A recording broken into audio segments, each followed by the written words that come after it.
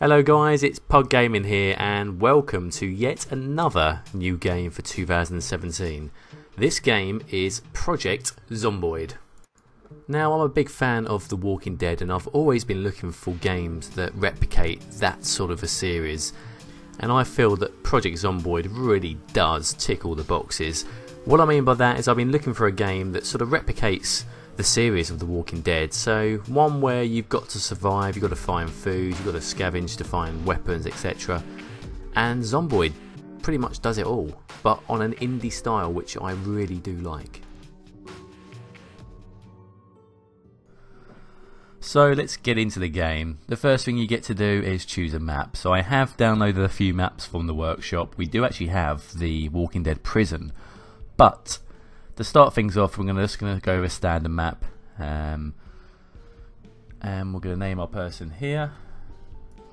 So you do you get a little bit of customization with your character buildings. You get to put your first name, second name, male or female, and there is some extra bits you can change as well, like your hair, what you're wearing, etc. But what you're wearing doesn't really matter too much because you can change your clothes as you play the game and pick them up from sort of looting or off of actual zombies. So don't worry too much about that. You can always change and pick a mix what you like.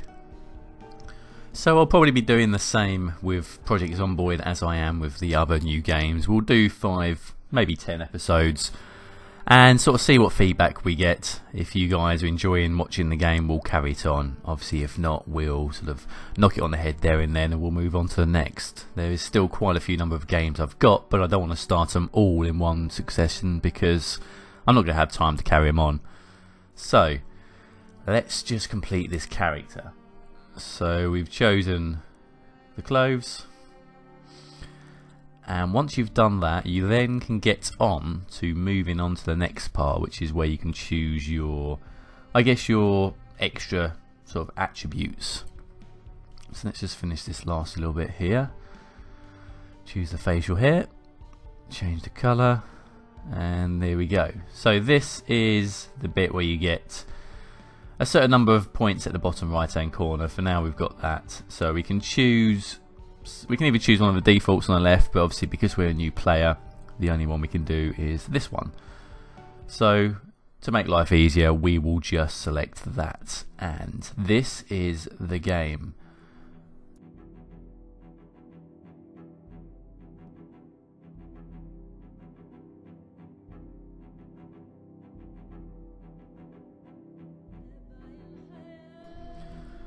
So, the actual start of the game, you start with the absolute bare minimals. There is mods that you can download to change that, but as you can see, here is our guy, here is Jim, and you start inside the house which is free of zombies, so it's a bit of luck. You can start the game nice and freely and sort of work out how to play the game. So you have to obviously make food, you can cook food, you can combine stuff. It's really exciting how many possibilities there are with this game for sort of crafting and making things together. Um, looking in the fridge here, you can see what things are to be eaten and what things aren't. So you can choose to eat some of an item or all of it or just a little bit. So you get the idea. It's kind of self-explanatory. It's more of a case of working out what items can combine with each other that's the difficult part of the game is just working that out but I'm sure we'll get there. So I have had a few little sort of mess around plays with this. I've done a bit of multiplayer with a couple of brothers of mine actually and it's I'm starting to get used to it let's put it that way. I'm starting to understand what you need to do and what sort of items you should be keeping and collecting because if you go into people's houses and loot them there is a lot a lot of stuff on there in these locations, and some of the stuff you don't really need. It's kind of pointless having, but some of the stuff are really important to keep. So it's just learning all that, learning what to do. And one thing I noticed what we need to do is close all of the curtains because the zombies are attracted by the light, certainly at night time, and they can also see through. As you can see from my character, when I'm looking through a window, you can see that the map outside lights up through the area I'm looking, so a zombie can also see what we're seeing through a window. So I learnt the hard way that you should have all your curtains closed. So we'll avoid that this time round. So we'll just do that. And you can, like I say, you can craft stuff. So ideally, these windows at the front here, this door, and also the door itself, we want to also be able to cover those up in the future. So we can get sheets to do so. But let's have a look. Let's go for a quick loot in this house opposite us. So sometimes the houses are locked, sometimes they are unlocked. This time round we are lucky and this is an unlocked house. So we can walk up to the cabinets and cupboards etc. As you can see from here we can loot. So we're double clicking on what we want to keep. You can copy and paste, sorry not copy and paste, you can control and um, tab and alt to combine a number of them at one time. Um, so as you can see on the right hand side of this first box we're looking at here you've got the two locations. So whichever one you're closest to, or if you're close to a few, you'll be able to switch between the two. So here you can see there's two cupboards. If we go to the left hand side, this is our inventory of ourselves. So this is what we're carrying. Um, as you can see, there's a backpack and there's also what we've got on us in person. So there is a certain amount that we can carry, and the more that we do carry, the harder it is for us to gain momentum and speed when we're walking. So if you've got a heavy backpack, a heavy load, it tells you on the icons at the top right, it pops up saying you've got a heavy load, and also that means that running is normally un well, you can't run basically. So what I've learned from the game that I have played is you want to make sure you've got your weapons. You want to get a couple of weapons available because they don't last forever. Depending on which weapons you've got, they do break. And the last thing you want is to have a horde of zombies after you and having your weapons break on you. So here we go, here's the first zombie. So what we're doing here, we've got the knife and it's quite an easy kill with the knife. And you just got to wait for that noise so you know it's dead. The zombie cry is when you know that the zombie is dead. But the way you can do this, the way I killed him there is I held down the right mouse button and attacked with the sorry yeah, left, and attack with the left. And what you can do is when you move around with the WASD, if you hold down the right mouse button, you do a stealth move around. So that kind of prevents zombies from seeing you or, well, ideally hearing you. Obviously, if you get too close, even if you're doing your stealth walk, they will still see you and attack you. But you can creep past zombies a lot easier when you're stealthing around. So it's a very useful thing to do, especially when there's a lot of zombies around and you need to get to a certain location. So what we're doing here is just finding a few bits and bobs in this property. As you can see now, we've got a heavy load. So this heavy load isn't so bad. We're not, you know, causing ourselves too much of an issue here. We're only over the road from our actual safe house. Um, but obviously, if you're going far away to find some uh, sort of looting outside of your main town, you need to be careful of that because when you're trying to get back to your safe house or a safe zone, you may need to run, and if you've got heavy loads, you're not going to be able to do so. So it's one thing to keep your eye out for. Another part of the game is all about your learning. So you can increase your intelligence and ability by leveling up certain aspects of the game. So you've got carpentry, etc., you've got cooking, etc. So the way you do this is by reading books. So the more books you read, the higher your intelligence becomes, and it means that you can do extra stuff. So, for example, the carpentry, which is one which I'm going to try and work on with this character, then allows you to build walls, build shelves, build cabinets, pretty much build what you need to really get far in the game. So, we'll be looking to do that. Um, having all that is going to make life a lot easier. We can then find a suitable safe house in a certain location and we can build a nice wall around it.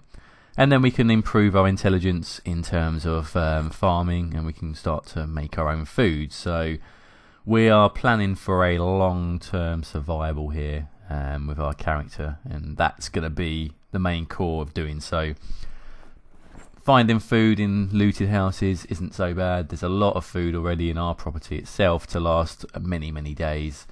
So we're going to use that to our advantage. I don't know how long we're going to stay in this in particular house, but I'm sure it won't be forever because I have seen on this map from playing multiplayer there's a lot of cool little areas that we can work ourselves into and as I could say once we build a nice fortress around it we'll be extra protected and also we can start laying down some farm fields etc. So back into our property here let's have a look what we've got. We need some food on this. So what you can do with the fridge is you can move stuff from your personal possessions and put them into the fridge, put them into the cupboard, etc. So ideally you don't want to have anything on you apart from your weapons and maybe a few bandages, etc. If you've got too much on you then you're obviously going to be one slow and two wasting sort of precious space for when you go and loot other properties.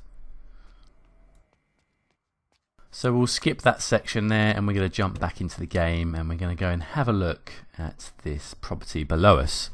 So as I say, food isn't such an issue at the moment. What I'm trying to look for these early stages is additional weapons, bandages, first aid kits, anything that's going to help us survive. Food at the moment isn't a massive necessity, but if we find anything that's half decent, we'll do so as well. We'll keep it. As I say, because we're only across the road, it's not so bad to sort of assemble a point, um, sort of back and forth between these properties with looting. So yeah, like I say, weapons are very key. What we can do as well, as you can see, there's some boxes on the floor here, but we can also pick up cardboard boxes. You can see at the top here and we can put those into our property. So you can drop all of your looted items on the floor, but that seems rather silly and it'll get very messy and hard to sort of work out where things are. So having cardboard boxes or wooden boxes assembled in your building means that you can add as many, well, a certain number of items inside there, and it just makes life a little bit more easy. You can have a box per sort of type of items. You can have a box of books. You can have a box of weapons, etc and it just means that everything's in a certain location and it means you can store things a lot easier.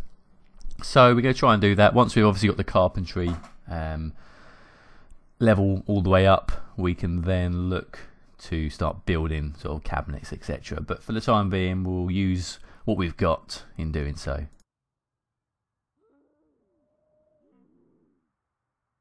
So as you can see here, you can also turn on your TV listen to the news, etc. So we've started very early. This is just when the outbreak has sort of commenced. So the TV does give you additional information on how things are going. And again, leaving the TV on will attract the zombies. So you have to also be very careful of that. So you can drink from the toilet sink if you really want to. But water again is just as important as food. You really need to make sure that you've got a good coverage of both water, which is normally held in these bottles, and food itself. So here we got the sunstruck issue here, so we need some drink in us.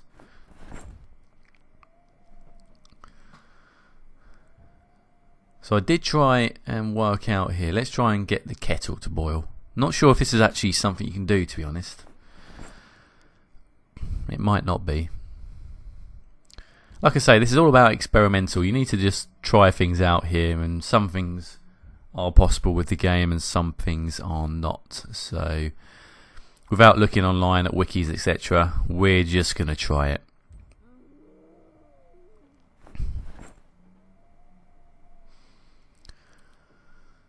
So we've got coffee here. You can eat the coffee if you really want to. Not sure how well that will work for our character.